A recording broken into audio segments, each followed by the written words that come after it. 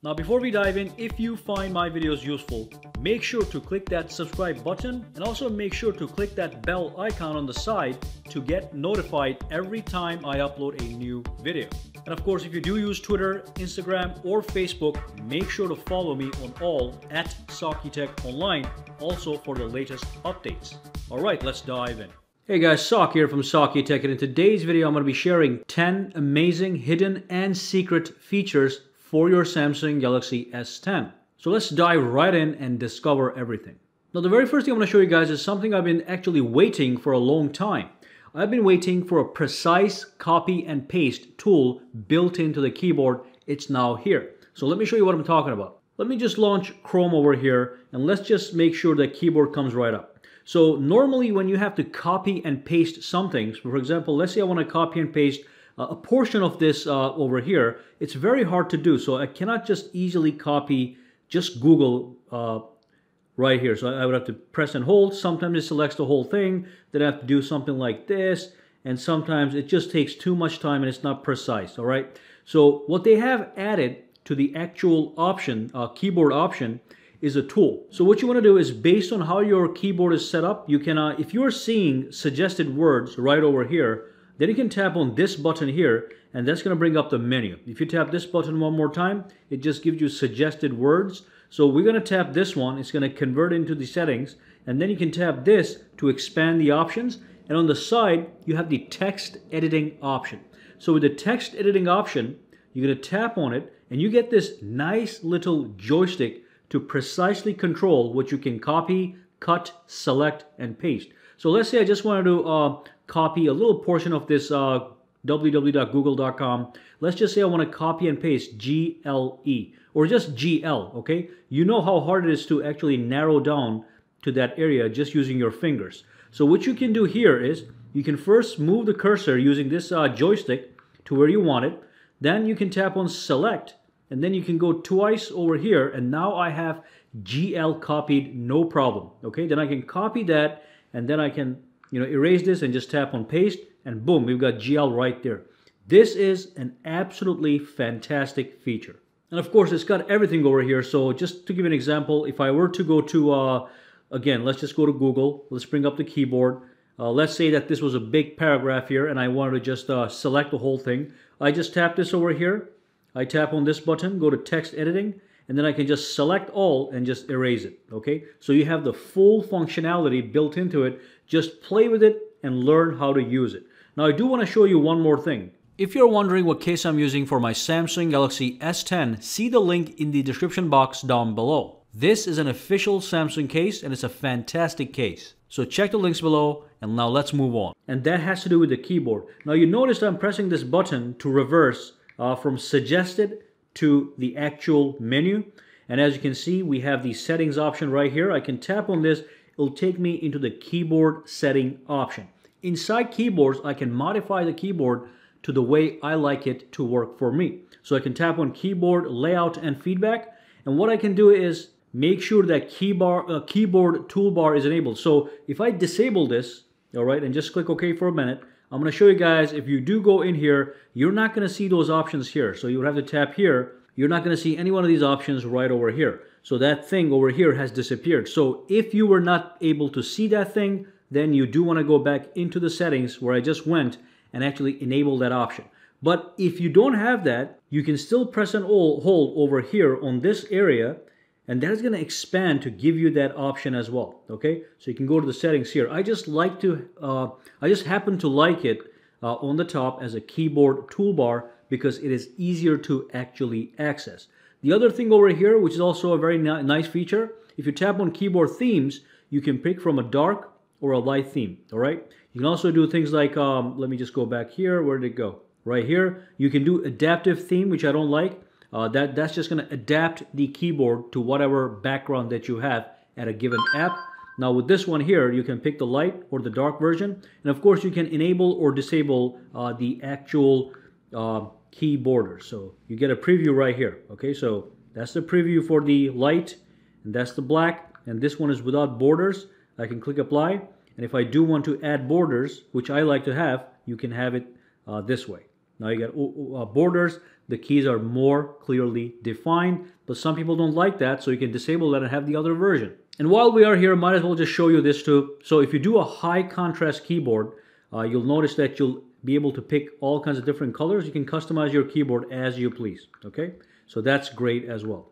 Now this is only good if you want a high contrast keyboard. I like the other ones better, so I'm gonna disable this. This is a uh, much better right over here. And finally, you can tap over here. You can change the size of the keyboard. If you want a bigger keyboard, maybe you have bigger fingers, you can change the size or you can reduce the size. So it takes less screen real estate and you get to see more on the top, all right? And of course, you have other options here as well. Now you can have the number keys disabled, so that's going to make the keyboard even smaller. Uh, then you can access them from here, obviously. But if you like the number keys like I do, you can just tap that. You have it right there. All right. So that's the keyboard tactics that I absolutely love. Now, one new option that we have on the Samsung Galaxy S10s with the One UI is something known as the lockdown mode. So if I press and hold on the power button here, you get three options. I'm going to have you add one more option to that three options. You get the, uh, let me just show you real quick. You got the power off, restart, and emergency mode. What you can do is if you go to the settings, and if you go into the lock screen, and if you go to secure lock settings, you tap on this one. Let me just put my password in, nothing special here. Uh, you can enable the show lockdown option. So if you enable this, you're going to get this option. You can tap it and it's going to lock the phone.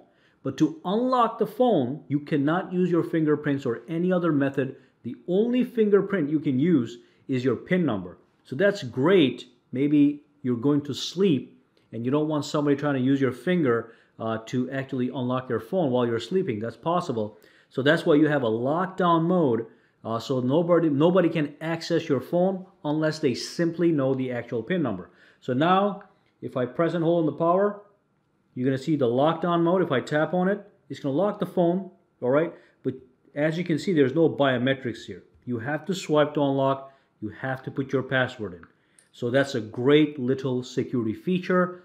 If you want to make sure that nobody uses your finger to unlock your smartphone, maybe when you're asleep or taking a nap. These things happen, but now you can secure that as well. Let's move on and talk about the next secret feature. So normally when you actually uh, press the recents button, and if you tap this button over here, you do not see this option here that says pin this app. Try it on your phone right now. You're not going to see pin this app. I'm going to make sure that you guys disable that option just in case you have it. So let's go to the settings. Let's scroll down over here and go into the biometrics and security. Go all the way down, tap on other security settings and at the bottom you've got pin windows. So make sure this one is enabled. Let me show you what it does. So basically, if you have your phone and you want to give your phone to a friend, let's say you just want him to see or her to see a specific app and nothing else. What you can do is you can give him, let's say, Chrome application, tap on this button, go to Chrome, tap that button, and pin that app. All right, so that app is now pinned. The person cannot exit that app. They can only stay in this app and nothing else. Now, if you want to exit the app, you have to press and hold on these two buttons, and that's going to take you right here, the recents and the home, and that's going to take you to the lock screen from which you have to actually log in to exit the application. So this way, if you give somebody your gallery, uh, your browser, or just showing you showing them something specific, they cannot exit that app and start toying with the rest of your phone. So quickly with that uh, option, I'm going to just clarify something. If you go to the uh, biometrics and security. Uh, you can go into the other security settings and it's right here. Uh, when you do enable it, you can require for the pin not to be asked. So if I do this, all right, and if I pin the window now, let's pin this app, you still cannot exit this, okay? But if you press and hold on these buttons, it is going to unpin the app without you having to put your password in. So that's the app pinning feature you can apply. The next thing I want to talk to you about has to do with the phone. If you go into your phone, and if you tap on this setting and go to settings, there's an option here that says show calls in pop-up. So let me disable this, which is a default on how you get all your phones. Let me call myself uh, from my other smartphone real quick. So let me dial myself and you'll see that the regular pop-up is gonna pop up and it's gonna just ring the phone. And let's, let me just accept this call and as you can see, this is a full screen view. Uh, the phone takes over the other app. So let me show you how to fix that uh, so the phone does not take over the app. So let me just decline this call. uh, go into my actual phone, go into the settings, and enable show calls in pop-up. So this way, what's going to happen is I'm going to call myself right now, you'll see. Now when I accept the answer over here, as you can see, the window stays here so I can still work with this application at the bottom. So the, the, the, the, the active call stays in pop-up form so I can still see what's going on in my existing app. Uh, sometimes when you get a full, full phone call and you put it on like speaker or something, which I can from here, uh, it just fills the screen and takes away from whatever you were doing. Maybe you just want to talk to somebody, say quickly goodbye, and go right back to what you were doing. So for that, make sure show calls and pop-up is enabled. So when you are in another app, the phone application doesn't take over the screen when you accept that call. So let's click end on this one. And real quick, I'm going to show you one more thing. So if you have, if you go over here to answering and ending calls, what you can do is you can assign the press volume up key to answer a call or press power key to end the call. So now you have physical keys to take or reject calls instead of swiping on the phone. All right, that's much more practical and useful. All right, let's move on. And one more thing I want to talk about has to do with the Smart Select option. Now this option is in the edge screen, so let me just bring that up. It's uh, right over here. Uh, this option normally is reserved for the Note series of Samsung smartphones. So on the Samsung Note 9, Note 8. So you can use these with S Pen, but now they actually added this option here so you can access it for the other smartphones as well. So what you can do with this Smart Select is just select parts of the screen and save it as a screenshot. All right. So that's saved. But if I go back here, I can do it this way too. So that's the circle. Make it small or big. Any portion of the screen on any app, anywhere that you want. And then you have the uh, animation mode. And of, of course, you have the pin to screen mode. So if you tap on animation, and if there was a video playing in the background on YouTube, you can record that video and turn it into a GIF animation, which is going to be saved and can be reused over and over. So you can create your own GIFs using this, this option. Now this option, you have to go to the settings and then enable it in the edge panels. It's called the Smart Select option. Should be in here, but if it's not here, go to the store, Galaxy Store, and just search for Smart Select and then download it by tapping that button and it's going to show up right where I was at, right here. And just enable it, and now you have this powerful little screenshot and GIF maker utility. All right, that was the last tactic for you guys today.